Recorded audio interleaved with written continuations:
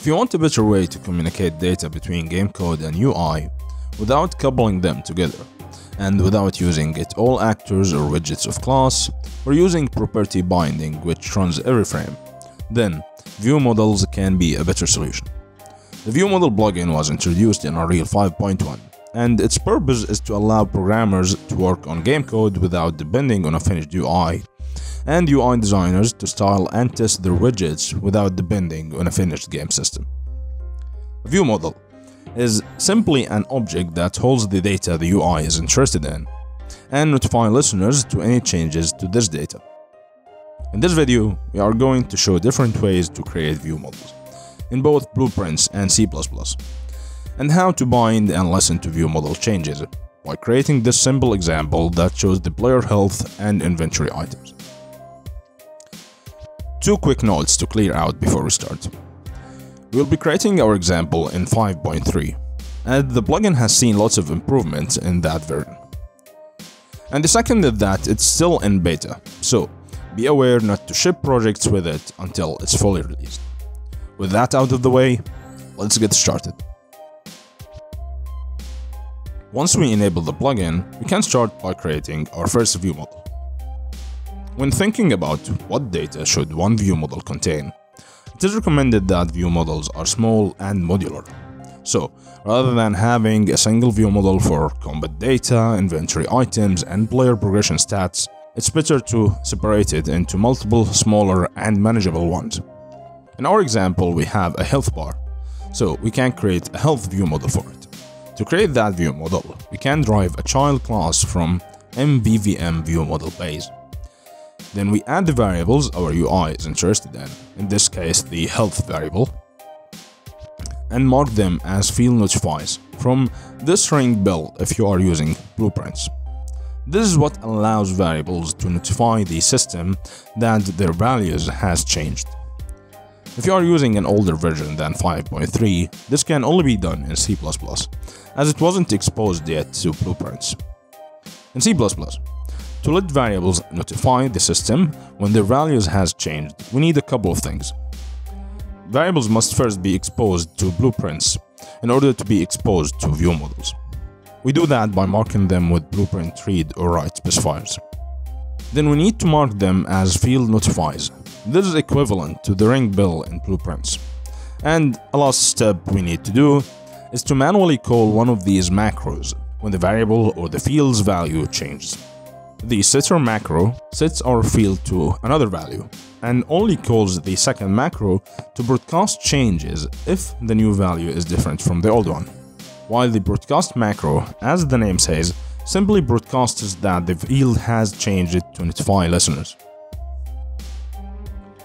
A good place to call these macros is inside setters of that field. To create a setter or a getter for a field, we can mark the field with the setter or getter specifiers.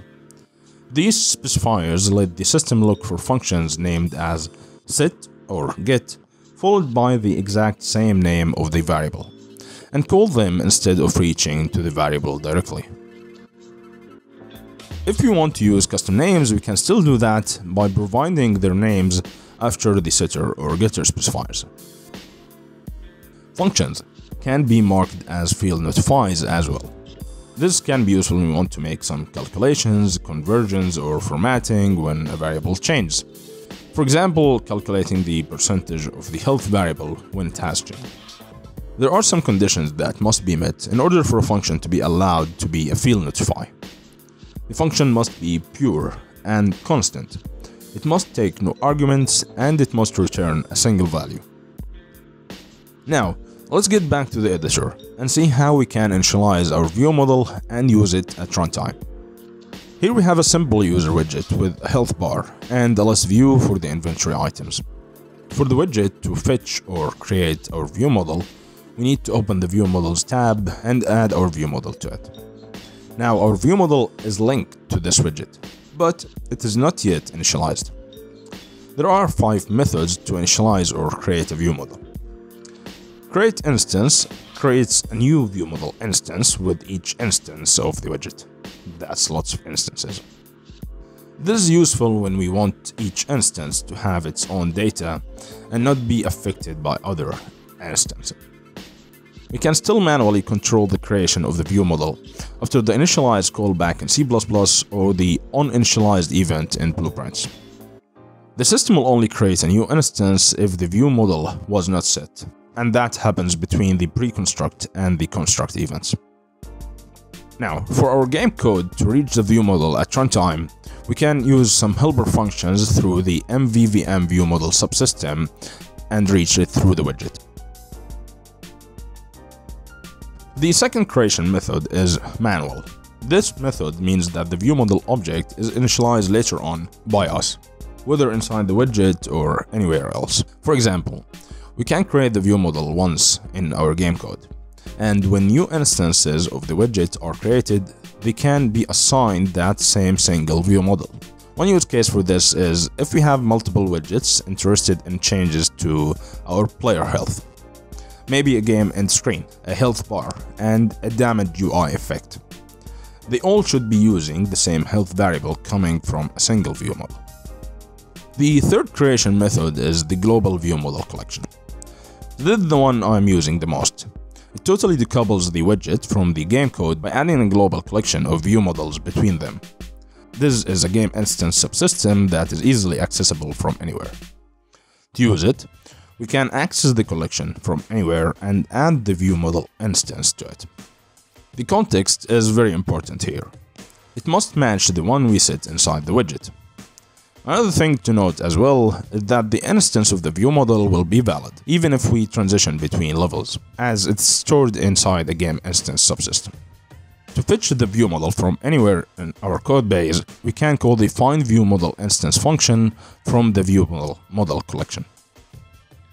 A good example for this is a settings or an accessibility options screen, where data is coming from multiple places. The fourth creation method is the property path, this one is useful when we know where the view model object exists. And instead of the view model instance being sent to our widget, our widget goes and fetches it. In this example, we create a health view model inside our player character and store a reference to it. Now to fetch it from the widget, we can write the path from the widget to the view model, which will look something like this. The get custom player character function is a function we made inside our widget to get our player pawn and cast it to our custom character. The last creation method is the resolver object. This was added to 5.3 and it is very useful. It allows us to fetch or create the view model with our own logic and implementation by creating a resolver class and overriding its create view model function. Now, our view model is initialized the changes are being broadcasted at runtime, but no one is listening. To listen to changes in a view model and change our UI based on that or act appropriately, we can use view bindings. But to avoid confusion with the legacy binding system, let's disable it through the project settings. This will let the compiler warn us if we have any use of the legacy binding system. There are multiple ways to create bindings. The fastest is to drag and drop view model properties on the widget property we want. If we open the View Bindings tab now, we can see a binding created for us. The arrows indicate the direction of that binding. Are we listening to changes in the view model, making changes to it, or both? We can also use conversion functions. If, for example, the view model has a string variable, and we have a text block inside our widget, we can use a conversion function to convert from string to text, for example. There are some caveats when using view models. For example, arrays and view lists are not normally accessible in view models. If we have an array of items that we want to bind to a list or tile view, it can be a little confusing to achieve. Since if we try to bind to the list views add item or remove item functions, we will need to create a field notify function in our view model that takes an item as an argument. And that violates the conditions for making a field notify function. One way to go about it is to bind the view model's items array to the list view's set list items function. Now, when a new item is added or removed from our view model array, we broadcast that change and our list gets updated. The second caveat is map properties. If we have a map property in C++ that we want to set its value using the setter macro, this will lead to an error, as the macro needs to check if the property has changed or not, but the map property doesn't override the equals operator. One workaround this would be to wrap our map variable with a struct and override the struct's equals operator. These caveats or minor issues are good to know about before using view models and I'm sure they are getting addressed in future versions as the plugin is still in beta. So, once again, be cautious when using it. Project files can be found in the description below, and if you like this content, consider supporting the channel through Patreon. Thank you for making it to the end of this video. This was Amr, and if you are interested in more UI videos, consider checking this one.